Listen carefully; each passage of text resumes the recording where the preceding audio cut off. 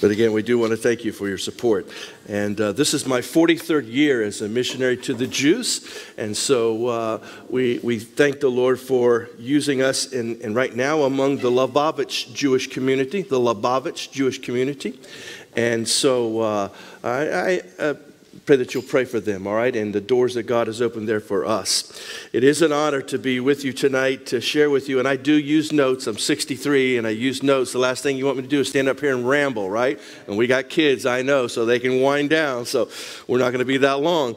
But uh, it is a, uh, fun to be with you tonight and share our collection of uh, Roman armor from the first century AD. This is authentic replicas museum grade, authentic replicas of Roman armor from the first century AD. And uh, we've just been able to collect it over the years. Dr. Cameron, who founded Seaside Mission, collected Bibles, and I have kept up with that and collect Bibles. And then, of course, uh, you think, how did all this come about? Let me just say this. My mother says her daughter in law lives with a hoarder.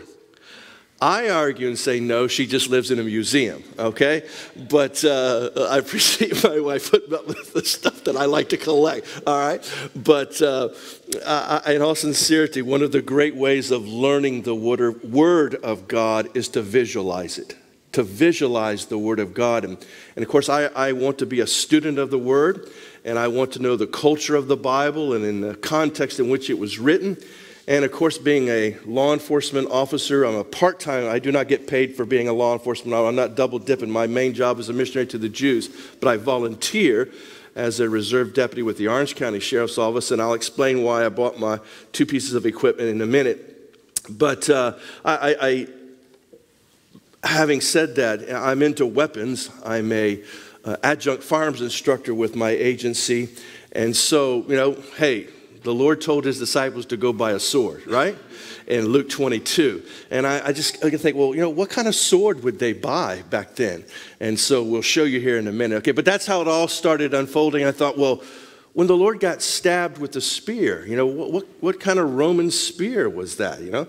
And, and what were the centurions? How did they dress back then? So that's how all this started, all right? So, um, but, but it's great to visualize the Word of God. Um, hey, take a trip to Israel and see the land of Israel for yourself and tell me that won't help you read the Bible in a totally different light. Amen?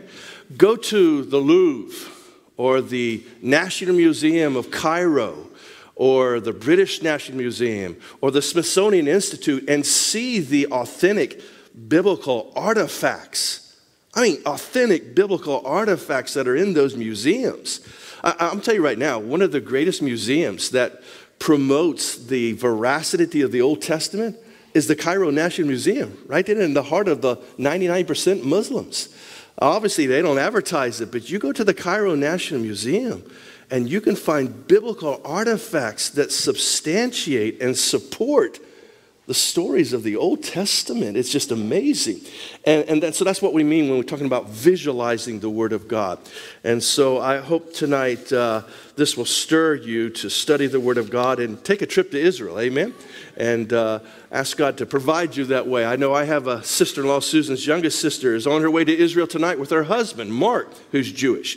So we're praying for their safety. Hey, with that being said, take your Bibles and turn to uh, excuse me, Ephesians chapter 6. Ephesians chapter 6. And as you turn there, uh, before we delve into the Romer of the Ar- Romer, Romer, Roman armor of God tonight, uh, don't get old, all right? We're allowed to get older, but don't get old, okay? But uh, let me go ahead and explain this to you tonight, okay? What we've brought so far. And I'll start down on this side. You see, we have two shields. This is called the Parma shield. Uh, what I do like about this shield is it's covered in leather, and the Romans would cover their shields in leather before battle, and they would soak it, make it wet. Why? And I'll tell you in a minute why they would do that. But the obviously the arrows, the golden arrows, uh, represented uh, the god Jupiter and his defense of them in battle. You have the eagles, that represented the uh, Roman army. Uh, this is a Parma shield. Obviously, it's oval shaped.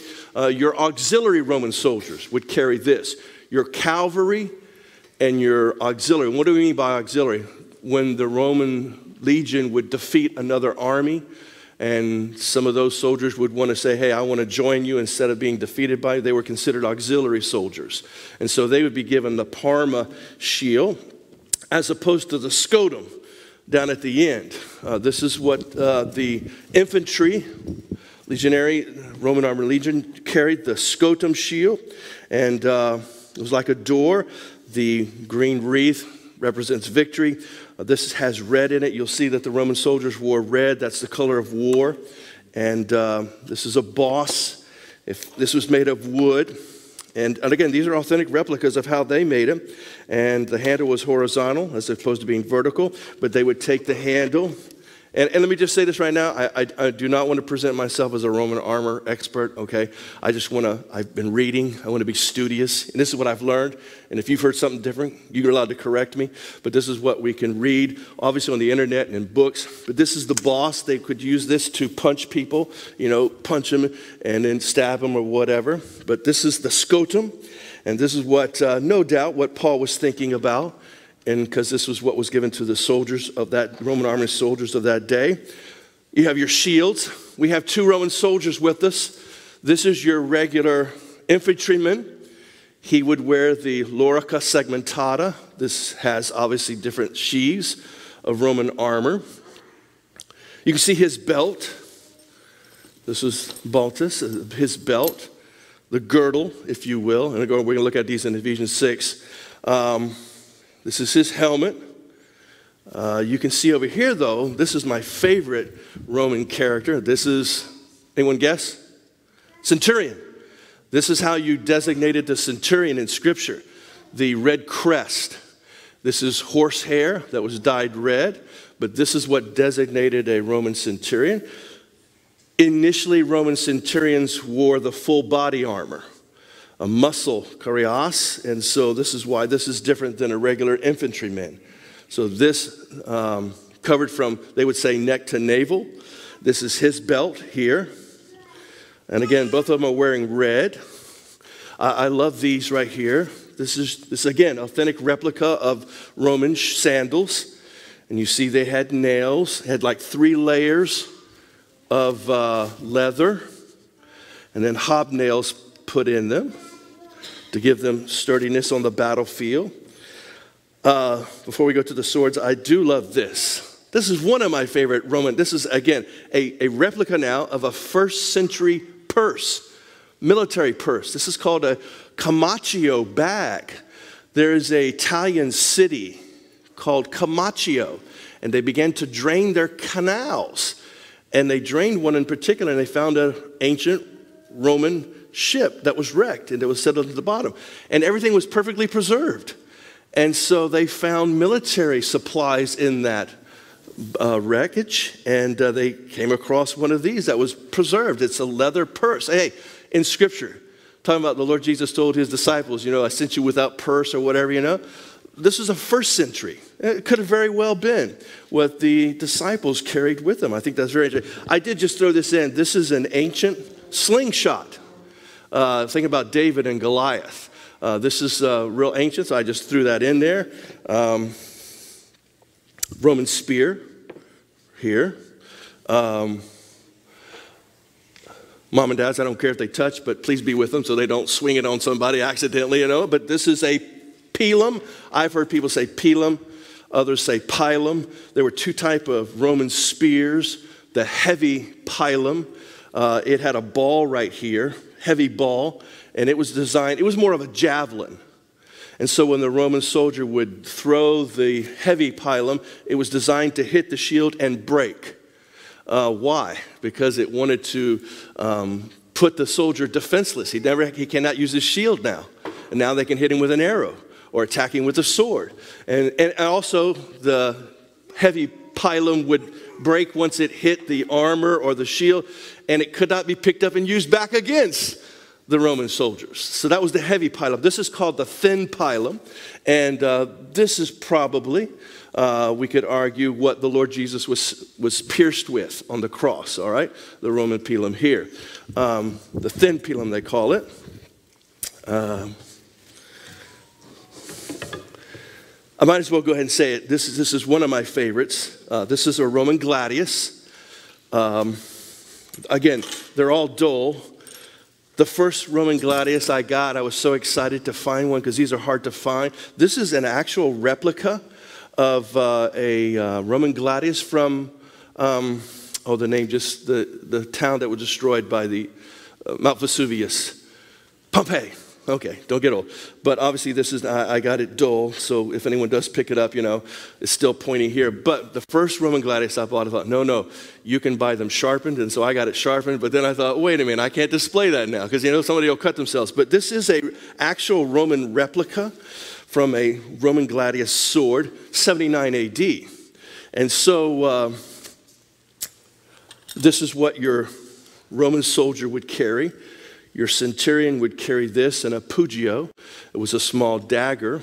And so that's what these are Roman gladius swords. Uh, I, I, I am in the camp with those who argue when the Lord told his disciples to go buy a sword, the common sword of that day would have been a Roman gladius.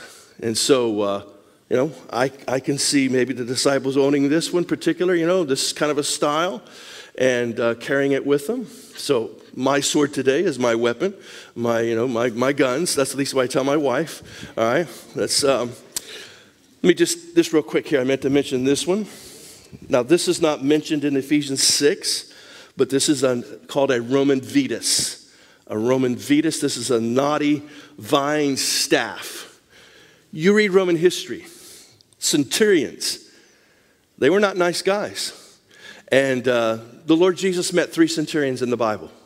He met three centurions in the Bible. He met, uh, can you think of them? Well, let me, uh, he met the one that healed his servant, right?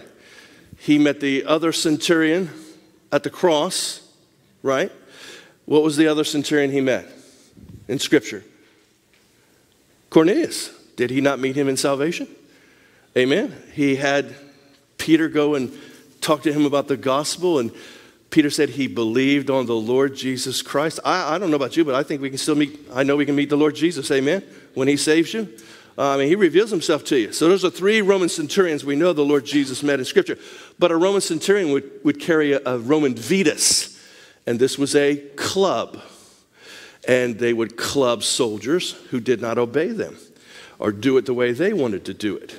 Hey, the Lord Jesus said in the Garden of Gethsemane when, when the soldiers came, you know, and with uh, Judas and all that, he's saying, Why have you come to me with swords and what? Staves? Check out the Greek word.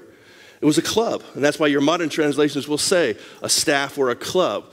Could have very well been like the Roman vetus that they would carry. So that's why I brought this. Uh, they were not nice guys all the time. Um, hey, I do have dice here. Again, these are authentic replicas of first century Roman dice. They're made out of sheep bone or goat bone. I mean, they look like our dice today, don't they? Uh, where do you find the dice used in Scripture? In the New Testament, in Jesus' life. When they cast lots for his Yes, they had those back then. Uh, Tiberius and all them, they were known as dicers they like to roll the dice. Isn't that amazing? And, you, and these are made out of sheep's bone or goat bone. That's what they're here for. And uh, my favorite, these are, now, these are um, plumbata, Roman darts. Um, Roman soldiers would carry them. They, some would say behind the, they'd have them stacked behind their shield, and they would throw these darts, hoping to hit the enemy in the helmet or something like that. And so they do have longer ones. Now, your scholars will argue that the plumbatas didn't come until like third century. But I will argue in Ephesians 6 in 50 AD, Paul is talking about the fiery darts of the wicked one. He's using imagery. I mean, he's using Roman armor, uh, you know, to describe what he's seeing and he's talking about the fiery darts of the wicked one. So there were some type of fiery darts. But hey, have you gotten hit by a fiery dart today from the wicked one today? How do we defend ourselves? Amen? But these are one of my favorite. These are very hard to get. And so we were fortunate to find them. I think that, yes. And yes, some of them would wrap them in fire or, you know, have a cloth and throw it in the fiery darts. And so that's what we get from that, that uh, thought. Um, I'll talk about this later. I'm trying to think of anything I've missed. All right, we're in Ephesians chapter 6. Um, in Ephesians chapter 6, verses 10 through 17, the Apostle Paul is speaking metaphorically. That is, he is using imagery. He's using the Roman armor of the first century Roman soldier to emphasize the need and the how to for a believer to overcome the forces of darkness that fight against them on a daily basis. Let's read now, beginning with verse 10, Ephesians chapter 6, verse 10. Finally, my brethren, be strong in the Lord and in the power of his might. Put on the whole armor of God, that you may be able to stand against the wiles. The King James says wiles, your modern translations will say schemes the schemes of the devil. For we wrestle not against flesh and blood, but against principalities, against powers, against the rulers of the darkness of this world, against spiritual wickedness in high places. Wherefore, take unto you the whole armor of God, that you may be able to withstand in the evil day. And having done all, to stand. Stand, therefore having your loins, or we would say today, your hips or your waist, having your loins girt about with truth, and having on the breastplate of righteousness, and your feet shod with the preparation of the gospel of peace. Above all, taking the shield of faith, wherewith you shall be able to quench all the fiery darts of the wicked and take the helmet of salvation and the sword of the Spirit, which is the Word of God. Let's add verse 18 praying always with all prayer and supplication in the Spirit, and watching thereunto with all perseverance and supplication for all saints. How can I, on a daily basis, stand against the wiles or the schemes? Of the devil. You are attacked. I'm attacked daily. How can we stand against his schemes? Well, to do that, we must apply or appropriate the following principles or spiritual truths that this armor speaks of and that God has made available to every child. You know, He's made the whole armor of God available to every child of his. By the way, according to verse 12, we first need to recognize who our true enemy is. Have you done that? We all have enemies, amen? Ultimately, my enemy, my personal foe, is not those who live and work in Washington, D.C. Would you remember that? I disagree with a lot, probably everyone who lives there, but they're not my, they're not my enemy. Ultimately speaking, they're not my enemy. Um, Hey, it's not some organized crime syndicate. That's my personal enemy. Uh, it is not my neighbor or the person sitting next to me or across from the aisle in church, right? These all may be pawns in our battle against evil, but our most dangerous adversary are the spiritual or adversaries are the spiritual forces of hell that Paul mentions in verse 12. We wrestle not against flesh and blood. Amen? We have a spiritual enemy that's very powerful. And we cannot defeat him in our own strength. You know, and you surely know the verse, Zechariah 4 6, not by might, by power, but by my spirit, saith the Lord. Not by human might, not by human power, but by my Spirit. And I would add, if you'll allow me, by the Spirit and His resources that He affords us. Amen? Because He does afford us resources. And so, how are we to literally play this out? Um, first, according to verse 13, we must put on the whole armor of God. The whole, or full, or every piece of armor. We must put on. What good would it be? Now, this is why I always like to bring my, bring my law enforcement equipment with me.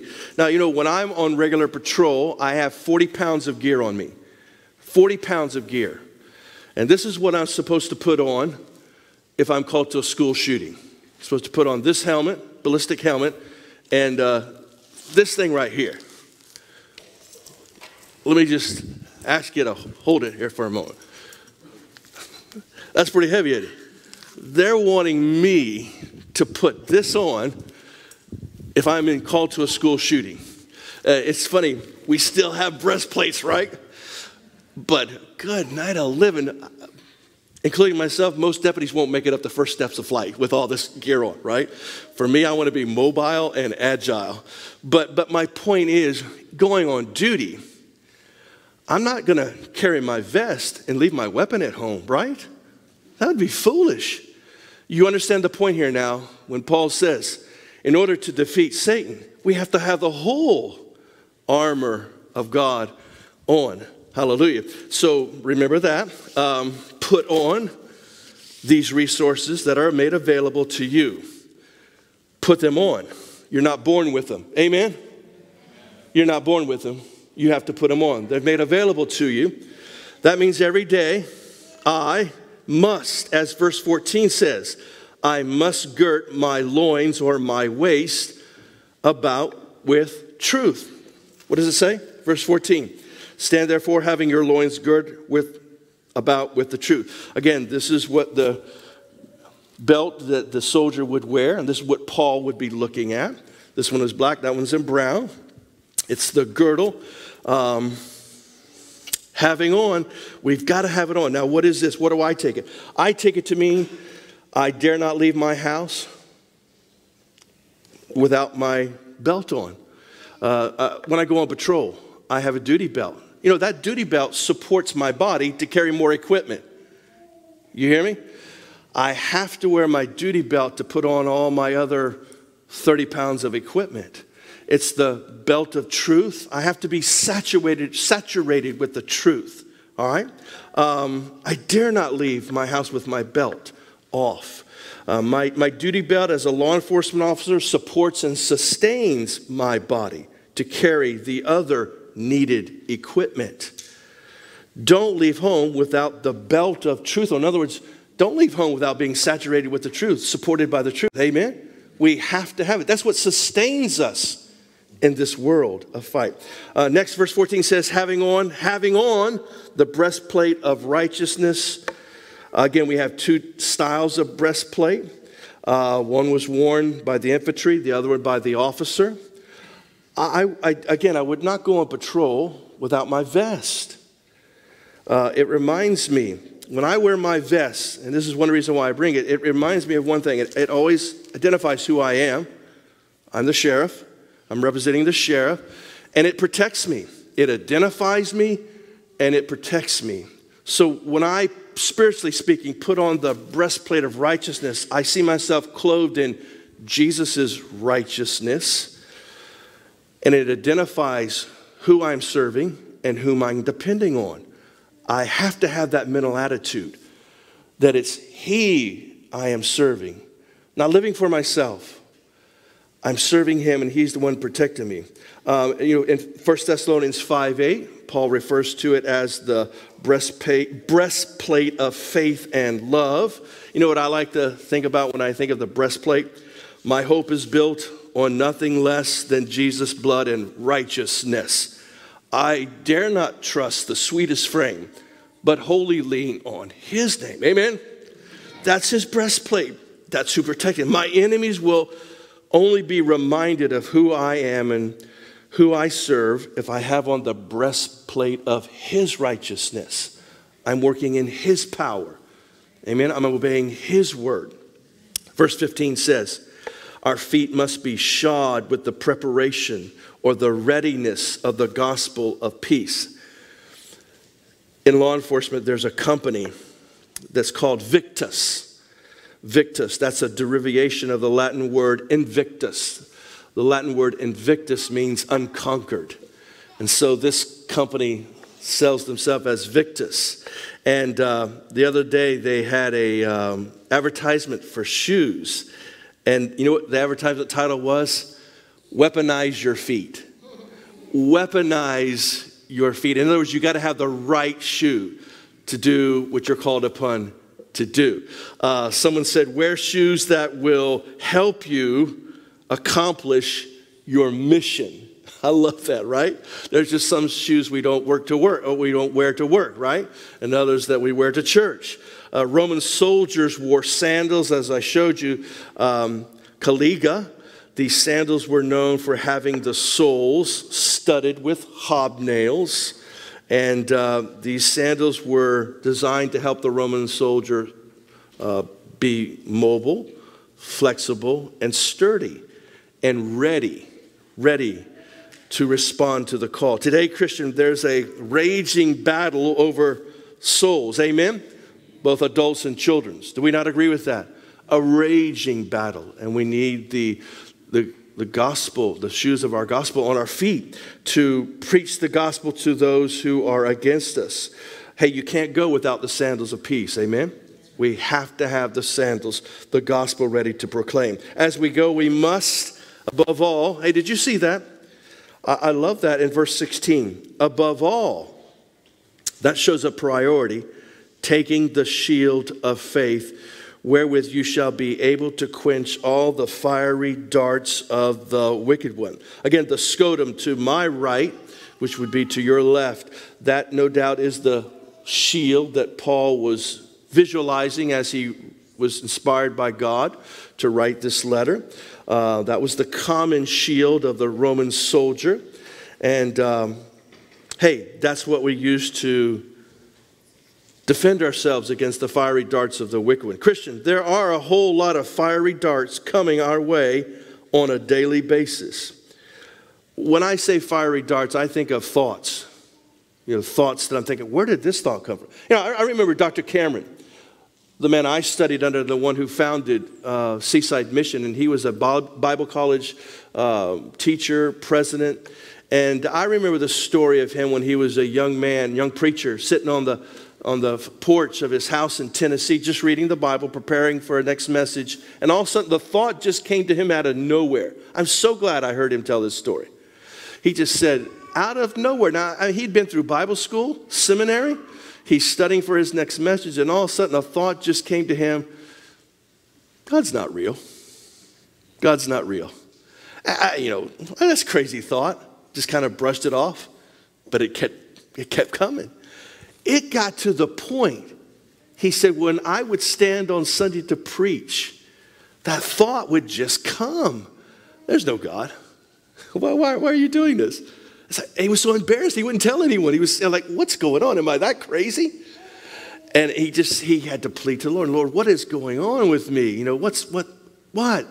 And just one day he was reading in Isaiah, and it says, When the enemy shall come in like a flood, the Lord shall lift up a standard against him and rescue his servant. And he said, That's what happened. Just one day the Lord, you know, gave me the peace to overcome this thought. I, I, I take that to happen, friend, even today you and I can have thoughts that where do they come from? Out of left field. A temptation, right? Don't look at me like a deer in the headlight, like, you know, you're not a robot, all right? And, and, and we have these thoughts, and, and how, do we, how do we defend ourselves against them? What are we to do? The Bible tells us it's the shield of faith. Do you know what our SWAT team did the other day? They sent out a, um, policy on, on how they address certain situations. And, and, and when they do find themselves in a traumatic situation, they're getting ready to face a man with a gun in the house or whatever. Do you know what two things they do? They told us in this policy to help us, you know, who, us lesser mortals, you know, than SWAT, you know. They say we do two things. We do military breathing to control our, you know, fear. And we do, get this, we do self talk. They do self talk. I will argue David is doing self talk in Psalm 42 when he says, Oh, my soul, why art thou so cast down? Hope thou in God. You have to do self talk on occasion, friend. Self talk the word of God to yourself. Quote those verses to yourself, read them. That's the shield of faith we're using to defend ourselves from these fiery thoughts. Um, to accompany such protection, we must take the helmet of salvation. Amen. It's available, but did you see where he said you must take it? Again, you weren't born with the helmet of salvation on. It's available to you. Uh, I, I, again, I, I take the helmet of salvation is the word of God protecting my mind. Hey, someone said, Christian, your mind is Satan's battleground. He who governs your thinking controls you. He who governs your thoughts controls you. And I want the Word of God to control my thinking. I don't know about you, but the older I've been getting, I wake up with panic attacks. I'm not ashamed to admit that. I wake up with panic attacks. And uh, my grandfather would struggle with panic attacks, and he got to the point where he wouldn't leave the house. He would not leave the house. I remember reading about a lady in England. She would have panic attacks that she couldn't turn right. I, I know they're crazy. But she would be driving a car and she just she had a fear of turning right. So she had to work a map out where she could get to her location, continually left, continually left to get to her. Mean, it's like, I know those phobias are cr- crazy. Amen? They are wacko. You know, and, I, am telling you right now, the older I get, I, I, get panic attacks and thinking, wow, Lord, help. Um, I won't go there. But, anyways, hey, we, we need the shield of faith and we need the helmet of salvation on. The helmet of salvation buffers, it absorbs the thoughts of discouragement and despair.